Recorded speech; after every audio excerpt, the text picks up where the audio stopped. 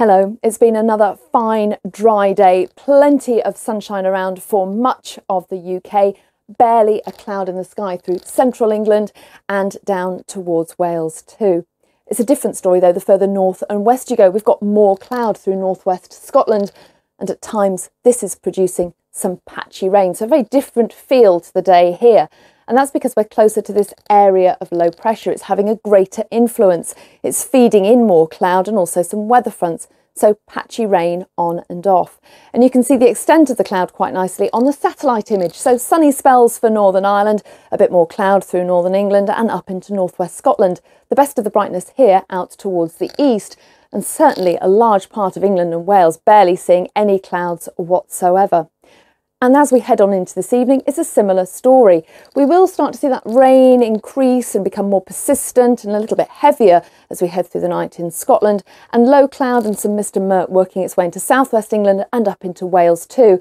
But even under clear skies, it's not going to be a cold night with a minimum temperature of 13 Celsius. So a warm start to Monday morning, and for many, it will be a glorious start. Plenty of sunshine around once again. The mist and murk through the southwest and into Wales will lift quite quickly.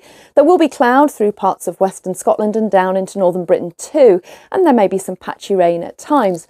I think northern Scotland has a greater chance of seeing something a little bit brighter as we head through the afternoon on Monday, but that heat once again focused on the southeast corner with highs of 31 possibly 32 Celsius. Now, as we head into Tuesday, this weather front is going to try to make progress and try to edge a little bit further south and eastwards, but it is going to stall. It will introduce more cloud into northern England and also one or two outbreaks of patchy rain too.